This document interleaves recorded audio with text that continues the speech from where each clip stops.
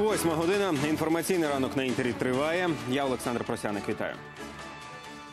На сході країни поранено одного бійця. Ворожих обстрілів знову поменшало до чотирьох за минулу добу. Окупанти били з мінометів та при Азов'ї на поблизу Донецька. Усі обстріли зафіксовані в день. Після шостої вечора в зоні АТО було тихо. Повідомили у штабі антитерористичної операції. У Дніпрі прооперували трирічну Софійку з Красногорівки. 6 лютого дівчинка була тяжко травмована внаслідок вибуху електронного детонатора, який знайшов на дворі сусідський хлопчик. Загалом тоді постраждали троє дітей. Двоє досі в лікарні на Донеччині. Олена Мандалюк продовжить тему. Софійка у Дніпропетровській обласній дитячій лікарні. Серед трьох постраждалих під час вибуху діточок її травмувало найсильніше. Осколками дівчинці посікло живіт. Зачепило печінку та кишечник. Вона втратила багато крові. Перші операції зробили у лікарні Курахова. Та стан маленької пацієнтки погіршувався. У Дніпрі після обстеження дівчинку одразу відвезли до операційної. У неї почався перитоніт. Перитонит, ну, это воспаление брюшной полости в результате попадания туда и крови, и кишечного содержимого. В операционной произведена ревизия органов и, в общем-то, э, провели коррекцию всего на современный шовный материал. Під реанімацією чергує мати Софійки. Світлана після операції ще не бачила донечки. Медики кажуть, пацієнтка вже почувається краще, дихає самостійно, без допомоги апарату штучної вентиляції легень. Усі життєві показники в нормі.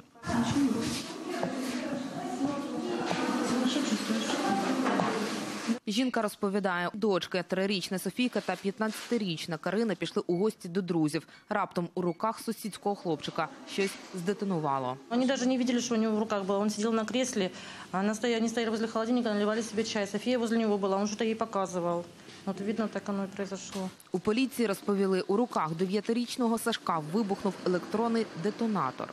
Применяется он в основном на шахтном, ну, на шахтах. Это ну, давление угля, пород, твердых пород угля, э, используется как самостоятельный ну, запал, то есть взрывное вещество, он не используется. Он не игрался, колупался, там, говорит, есть дырочка в нем, ну, как бы в этом.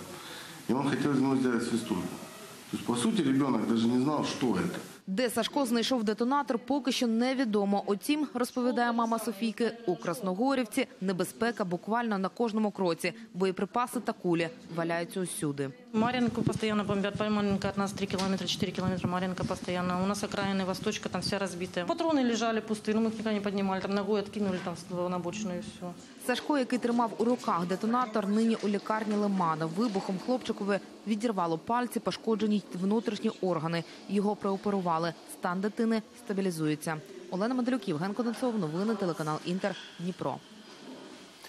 Відповідальних за величезні черги на отримання біометричних паспортів затримали. Ними виявилися посадовці Державної міграційної служби України. Разом із приватними фірмами вони організували масштабну злочинну схему. Українцям пропонували отримати паспорт без черги. За це вимагали від 2,5 до 25 тисяч гривень. Тоді як черги для тих, хто хотів отримати паспорт законно, створили штучно. До схеми були залучені майже 20 підприємств. А дехто з керівників посадовців виявився ще й наркоділком.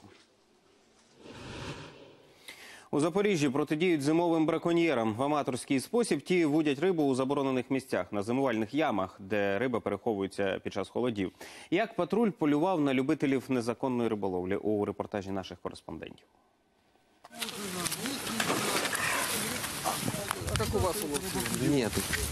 Поки одні ловили рибу, інші чатували на рибалок. Рейд цією тихою затокою Дніпра став несподіванкою для майже півсотні любителів підльодного лову. Вы ловили рыбу на зимовальной яме. Я не ловил И- рыбу. Если бы у вас было что-то, это Я просчитывался зашел, ущерб. нашел. Ну, это будете рассказывать э, в другом месте. Что вы нашли, как вы нашли, где вы нашли. Побачивши рибінспекторів та поліцію, рибалки змотують вудки та тікають у хащі. На тих, кого встигають затримати, виписують протокол. Штраф от 34 до 170 гривен. Рибінспектори кажуть, порушники добре знають, що ловити рибу саме тут не можна. Ось навіть є відповідні таблички. Втім, заборону ігнорують, адже мізерні штрафи вже давно нікого не лякають. Тож рейд радше профілактичний. Сюда традиционно э, заходит плотва, лещ, э, судак. И, естественно, здесь ее массово вылавливают. Запрещено ловить там, где рыбы много. То есть запреты предусматривают в первую очередь сохранение водных биоресурсов. Поки рибоохоронний патруль карав чоловіків гривнею, рятувальники робили свою справу, попереджали про небезпеку виходу на лід. не ризикували своїм життям. Но до них доходит, нет? Не до всіх.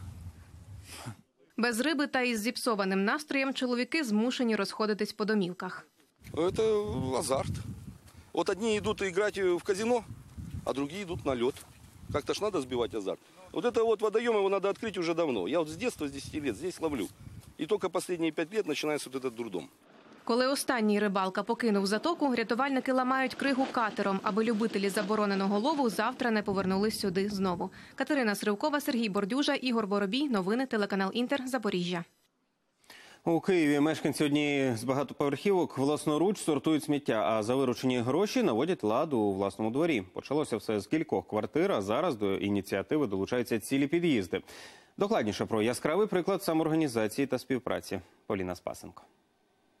скручуємо пляшки, да, щоб вони займали менше місця. От. Кришки ми збираємо окремо, тому що цей пластик коштує дорожче. Олександр ділиться секретами сміттєвої бухгалтерії. Уже майже рік вони з сусідами сортують відходи у колишньому будиночку для інструментів. Зробили уборку. Ми придбали замок, полагодили е, дверцята. Певні бюрократичні були перепони, але дуже добре наш ЖЕК пішов нам на зустріч. Тепер у нас є можливість сортувати. Все почалося з кількох сімей. Поступово до них долучилися сусіди. За чотири місяці на пляшках, картоні і решті сміття заробили понад дві з половиною тисячі гривень. Народ, коли почув да, суму першу, на яку ми здали, ну дуже всі ну, зраділи. І, звісно, це мотивує. Люди ще більше починають це робити. На зібрані кошти мешканці зробили у дворі освітлення. Замість старих ламп встановили ось такі енергозберігальні. Частину коштів взяли з так званого дворового фонду. Щомісяця туди здають гроші усі охочі. Хто скільки зможе, і жодного примусу. Ну, у нас там сума там 100 гривень обумовлена, але хто може більше, той може більше, хто може менше, той може менше. У нас фонд складає зараз біля 13 тисяч. Е, Це з грошима, які ми заробили е, з, зі сміття. А рік тому у їхньому дворі було ось так. Тепер же про гори непотребу мешканці вже і не згадують. Хоч баків для роздільного сортування тут і досі немає, сусіди підтримують порядок та й іншим смітити не дозволяють. Хочемо зробити, обратися тут абсолютно все. А, Зробити сучасний газон, щоб діти гралися на газоні, а не отут. От. Тут і собаки в туалет раніше ходили. Коротше, печалька була. Хоч до їхньої ініціативи спочатку багато хто ставився насторожено. Зараз на суботники виходить все більше народу. Але ми скільки витрачаємо часу на те, щоб дивитися телевізор або сидіти в соцмережах? Витратити зайві дві хвилини для того, щоб покласти е, шкірку від банана в один е, пакет, а пляшку в інший пакет. Я не вважаю, що це витрата. Тепер у планах мешканців відремонтувати дах і каналізацію. Сподіваються, що їх приклад наслідуватимуть і сусідні будинки. Поліна Спасенко, Максим Щеблін. Новини телеканал Інтер. Колишнього міністра фінансів Румунії посадили на 8 років за корупцію. Верховний суд визнав Даріуса Валькова винним у перевищенні повноважень і відмиванні грошей. Антикорупційна прокуратура порушила справу проти нього три роки тому. Тоді прокурори конфіскували в екс-міністра три золоті зливки та 170 цінних картин і заморозили його рахунки для компенсації збитків. Вальков очолював міністерство фінансів із грудня 2014 по березень 2015 року. Пляжі Барселони засипало снігом. Востаннє таке траплялося вісім років тому. Температура у Каталонії подекуди впала до мінус семи. Містяни висипали на берег зі смартфонами та фотокамерами і заходилися викладати фото та відео в інтернеті. Найсміливіші навіть намагалися купатися та засмагати в засніженому пляжі. Утім, е, рідкісне явище тривало недовго. За кілька годин сніг розтанув. 117 дольок лайма з'їв китаєць заради 800 доларів призу. Змагання влаштували під час корпоративу однієї з фірм. У щасливого переможця від кислого фрукта язик вкрився пухирями. Каже, хоч і любить їжу з яскравим смаком, утім на лайми і лимони не зможе дивитися ще щонайменше тиждень. Наразі все. Більше новин о 9. Тоді побачимося. До зустрічі.